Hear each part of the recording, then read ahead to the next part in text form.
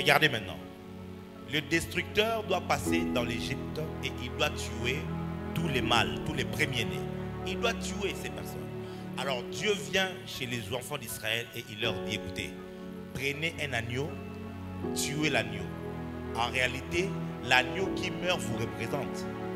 L'agneau qui meurt là, c'est vous qui étiez censé mourir.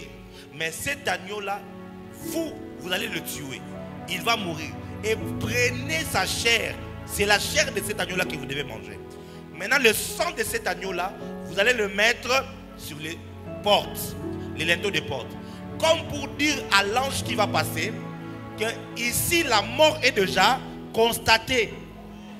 Ou encore, quelqu'un est déjà mort ici, tu n'as plus besoin d'ajouter une autre mort. C'est comme ça que dans Apocalypse, on chante, on dit que tu as racheté pour Dieu par ton sang. C'est-à-dire quoi? C'est nous qui devrions passer par le jugement éternel. Mais Christ est passé par le jugement éternel au travers son sang afin que toi, tu ne passes plus par ce jugement-là. Lorsque le croyant va comprendre la doctrine de la rédemption, tu n'auras plus peur du diable.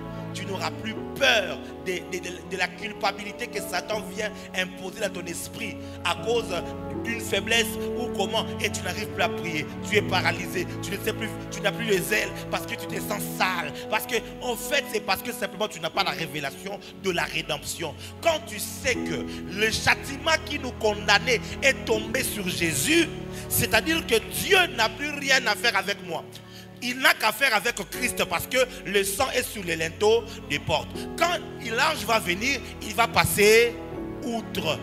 C'est ça la Pâque. Dieu va passer outre. Le jugement va passer outre. Pourquoi? Parce que Christ a été immolé. Il nous a fait le rachat au travers son sang.